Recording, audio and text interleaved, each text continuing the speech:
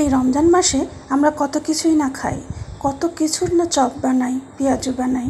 কিন্তু এই রেসিপিটা আমার মনে হয় না কেউ কখনো ট্রাই করেছেন। হ্যাঁ আজ আমি একদম ভিন্ন ধরনের পেঁপের একটা রেসিপি নিয়ে হাজির হয়েছি। আসসালামু আলাইকুম।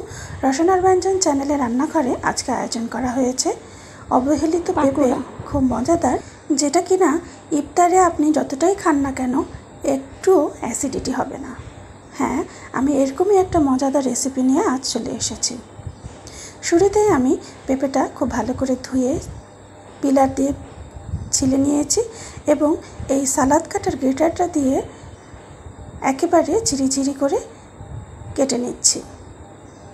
খুবই সহজ একটা রেসিপি রমজান কেন সারা বছরে যে কোনো সময় আপনি অনায়াসে এটা খেতে পারেন। এভাবে একেবারে ঝিরিঝিরি করে কেটে নিয়েছি, দেখেন। আশা করি আপনারা বুঝতে পারছেন। এভাবে পুরো পেঁপেটা আমি কেটে নিয়ে নিয়েছি। পেঁপেটা কাটার পর সাদাই ছিল, জানি না কেন ক্যামেরা একটু হলুদ হলুদ দেখাচ্ছে। যাই হোক, এই পেঁপেটাকে এভাবে কেটে নিয়ে কোনো কিছুই করতে হবে না। লবণ দিয়েও মাখাতে হবে না, কিচ্ছু না। ভালোভাবে ধুয়ে আমি প্রথমেই নিয়ে নিয়েছি, তারপরেও যদি আপনারা কেউ ধুতে চান, ধুয়ে নিতে পারেন।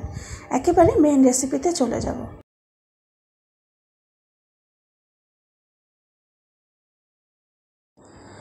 শুরুতেই কেটে রাখা কাঁচামরিচ দিব। এটা আপনারা নিজেদের স্বাদ মতো দিবেন।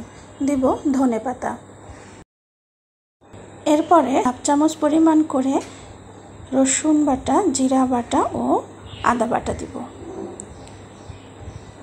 আরও দিব গরম মশলার বাটা। গরম মশলা বাটার মধ্যে আমি এখানে ব্যবহার করেছি সাদা এলাচ, ডালচিনি, লং।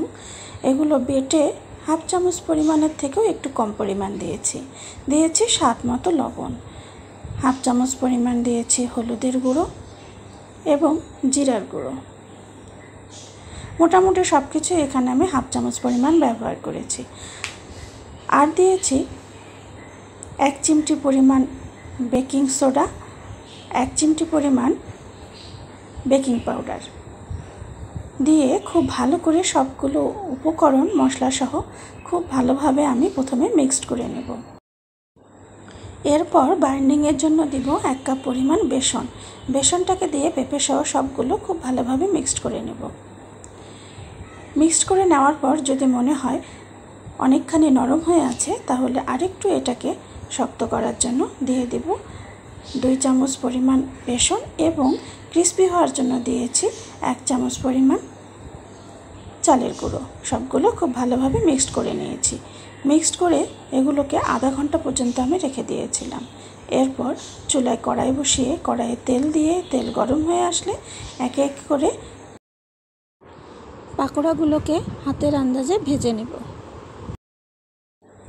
একটা জিনিস লক্ষ্য করলে বুঝবেন, আমি কিন্তু পাকোড়াগুলোকে সুন্দর করে গোলগাল করে ভাজতে দিচ্ছি না। চারিদিক থেকে পেঁপে চিকন চিকন হয়ে বের হয়ে থাকছে। এভাবেই ভাজবেন।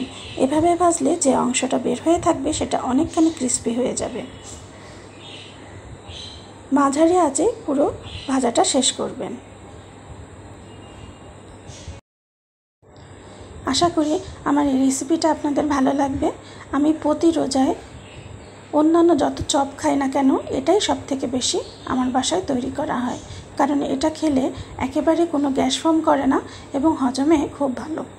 আর পেঁপে মানেই তো হলো সব থেকে ঔষধি সবজি। যাই হোক, আমি এভাবে কয়েক ব্যাচ ভেজে নিয়েছি। আপনারাও এভাবে বাসায় তৈরি করবেন এবং আমাকে কমেন্টসে জানাবেন কেমন লাগল। যদি ভালো লাগে তবেই আমার সার্থকতা।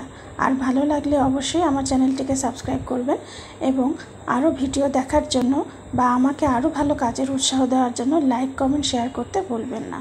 যদি রেসিপিটা একেবারে নিউ মনে হয়, অবশ্যই শেয়ার করবেন।